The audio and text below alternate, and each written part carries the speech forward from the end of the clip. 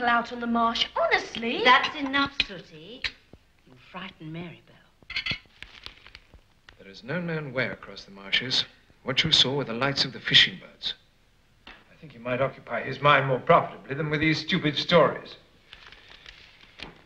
Now, Sooty, the Kirrins are arriving on the 11 o'clock ferry today. I think you two could help get their rooms ready. How long are they staying, Mummy? Until Professor Kirrin's house is repaired. A big tree crashed on their house in that storm on Tuesday night. Sooty, that's enough. Wish I'd been there. Bet it was exciting. The post, Mr. Lenoir. Thank you, Block. Now, you two, I think you can go and tidy your rooms if you please.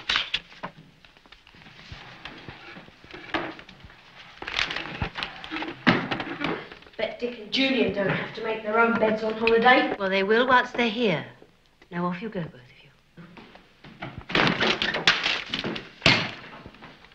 What's the matter, dear? It's that fellow Barling again. He's trying to stop my scheme for draining the marshes. But this will wipe the smile off his face. Professor Kirrin favors marsh draining plan.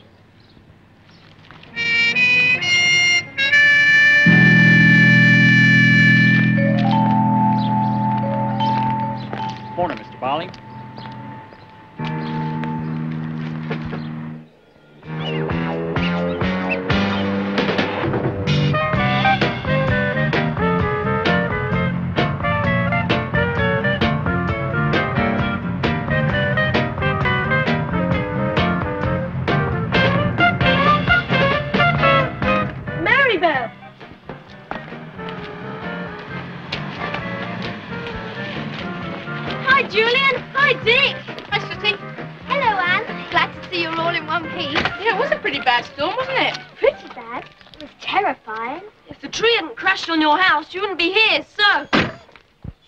Oh, no. That's never your dog. Timmy is my dog. My stepfather hates dogs. Won't have them near the place. Where I go, Timmy goes. We'll have to go back with the car. Don't do that, stupid.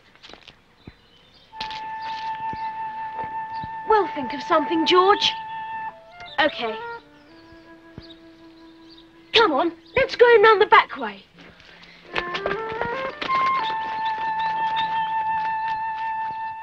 Yes, I understand that. Barling, it is a question of what is best for the island. It- Hello? Barling?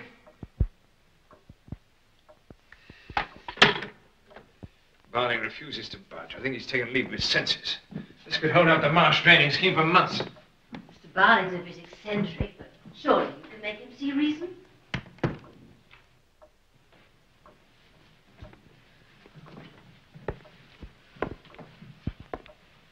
Blast. It's that creep block. Stepfather's butler. Always snooping on us. Shh. He'll hear you. Stone deaf. Have to go through father's study. Come on.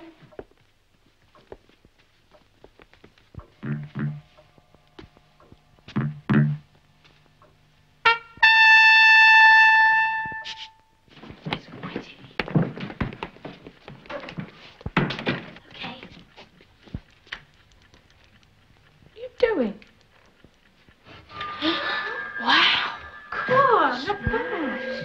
Is riddled with them. Be quick.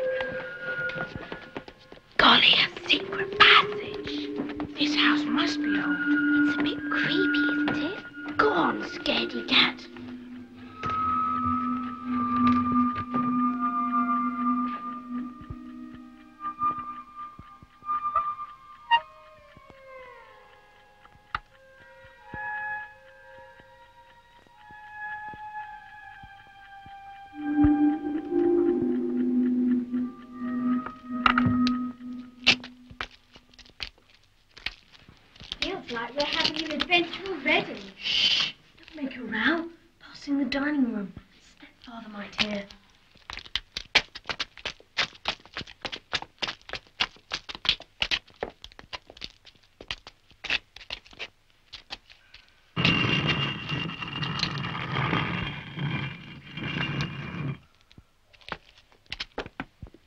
My room. George, look how high up we are. Who sleeps in the tower room? Just used for junk. Smuggler's top. Was it really used by smugglers? So they say. It's a very exciting place. Things could happen here. Just the feeling you get because the place is so old. Nothing ever happens, really. Except I have seen something. Sooty, you know what Father said. Give me the dog. Come on, quick. What are you doing?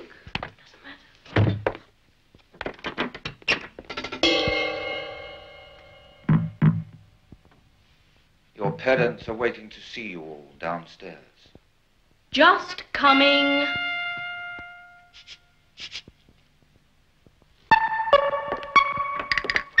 That was close. Safe now.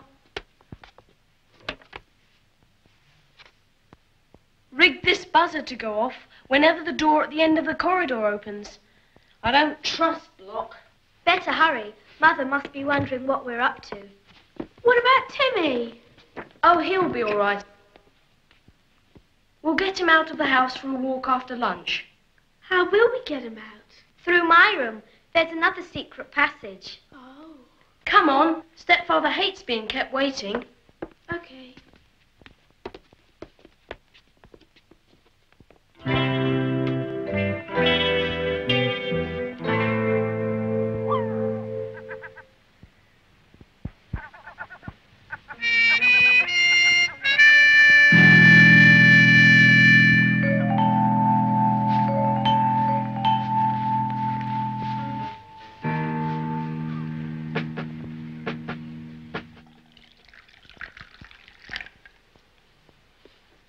Those children were a great height to leave the table.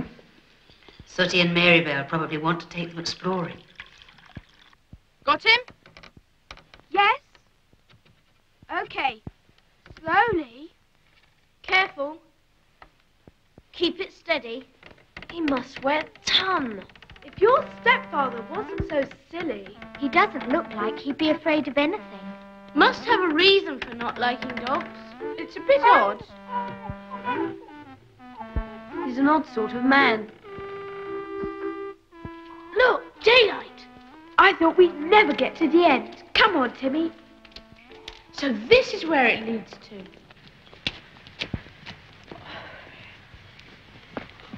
Oh, it'd be horrible to get stuck in that.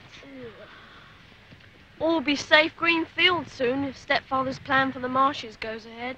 Your stepfather was saying somebody on the island is against it all. Oh, Mr. Barling. He wants the marshes left as they are, not made use of. And he's very rich. Lives near here. Now he is really peculiar.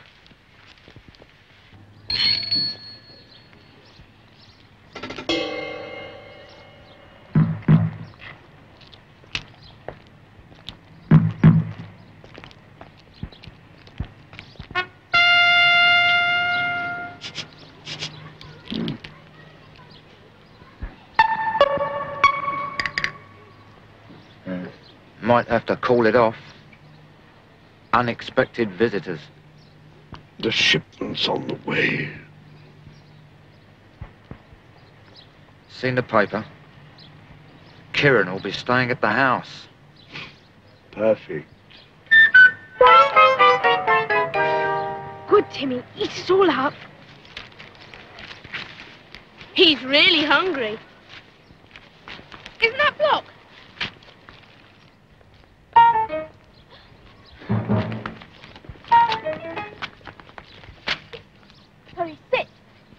There's a good boy.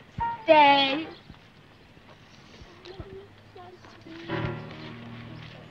Timmy. Stay. Stay.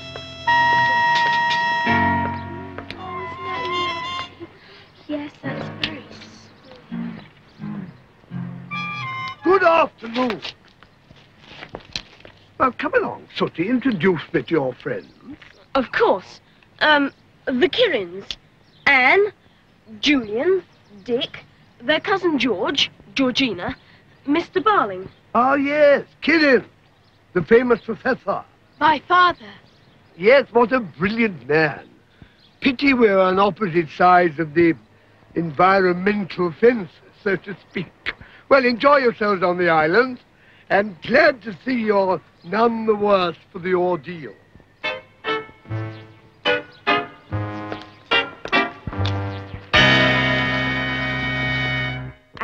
Barking. Turn the handle right round to close it.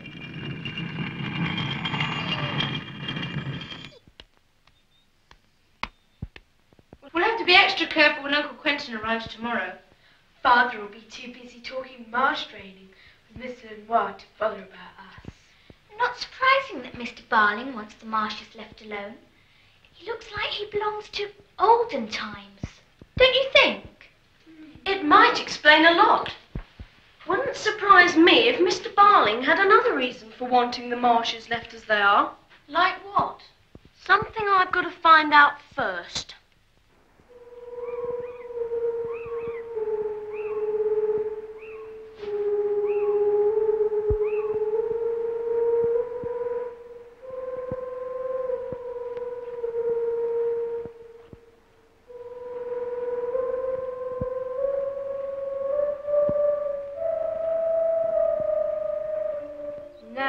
Somebody's got to believe me.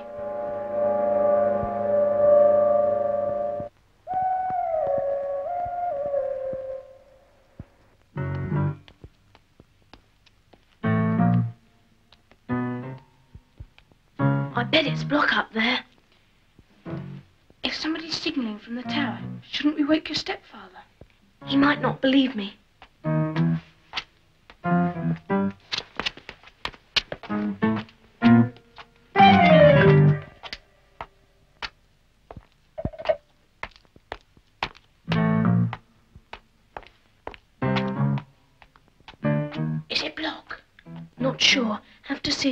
Block's room.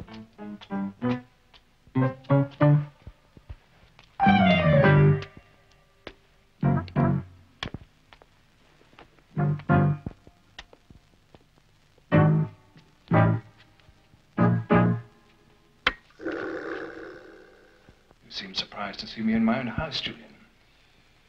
May I ask what you think you're doing creeping around at this time of night? I, uh, well, we. Stepfather, I saw those lights again. I really did. And somebody signaling. I think it was Block. We were just. Sooty, I'm sick and tired of these stupid stories. Block is fast asleep in bed. Now see for yourselves.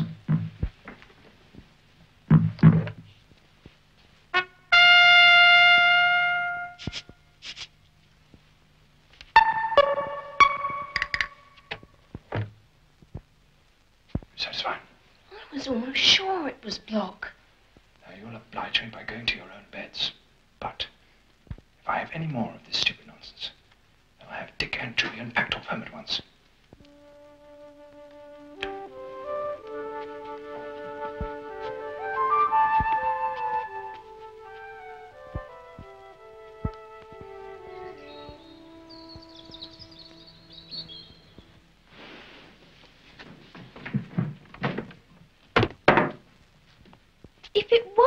Wasn't you were following last night, then who was it? Complete mystery. But somebody was signaling. And to somebody on the marsh. The only other person we saw was. Mr. Lenoir.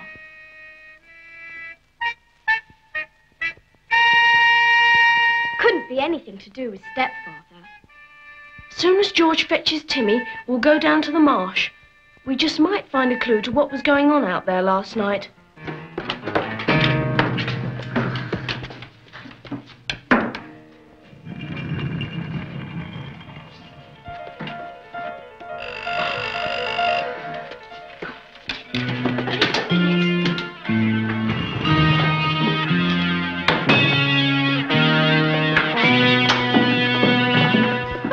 You were all going out for a walk.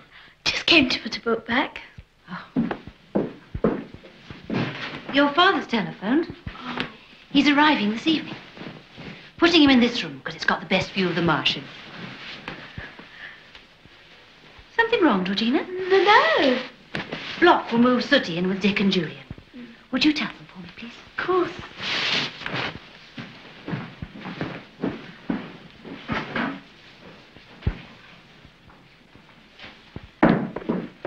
A good idea of yours, Block, to put Professor Kirrin in here.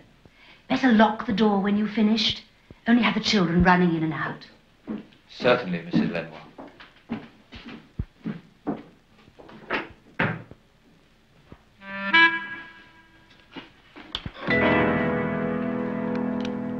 Don't worry. But he's been in there all night. And he barks like mad when he wants to go out. Supposing your stepfather hears him. Block won't take long. He's only tidying the room.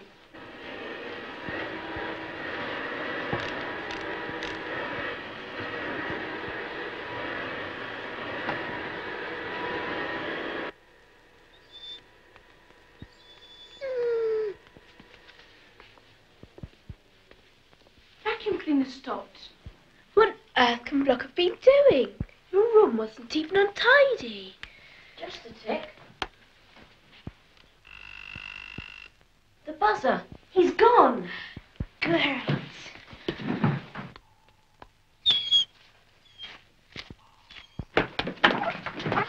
It's locked. Can't be. Tis. Key's missing. Is there no other way into the secret passage except through the study? Afraid not. And oh. anyway, stepfather's in there typing. Let's try all the keys. One might fit. George would have to bring Timmy. What a waste of time. Well, I like having him here. Stepfather'd go mad if he knew. I think he's up to something. It's possible. Might explain why he thinks so much of that creep block. They could be in it together. Here's another one. It's no good. Better disconnect your buzzer before Professor Kirrin gets here. Oh, it's all right. I can do it from outside. Hey, where's George? I don't know.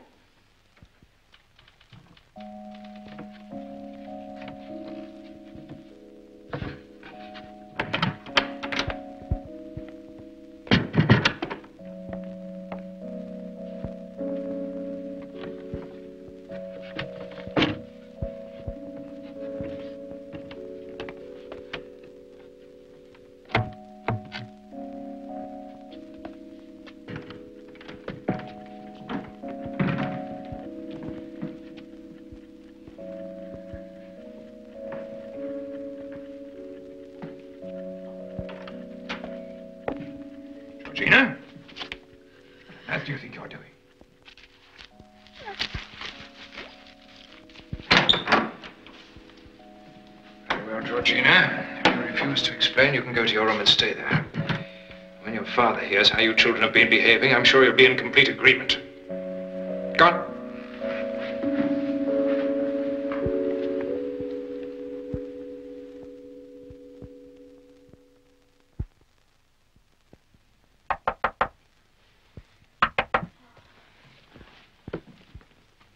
Who is it? You are a fathead.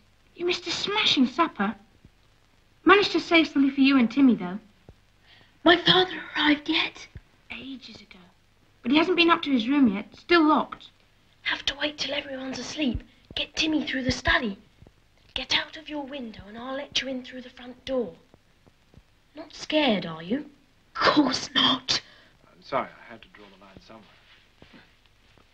Your father's coming. Won't hurt George to pull her heel. I'm glad you don't feel that I was being too strict with her. No, not at all. Uh, I hope you'll be comfortable, Quentin. Oh, sure I will, thank you. I'd like to have a word with this fella Barling, find out how serious his objections are. Well, that can be arranged. Well, see well. Well, good night, thank you. Good night.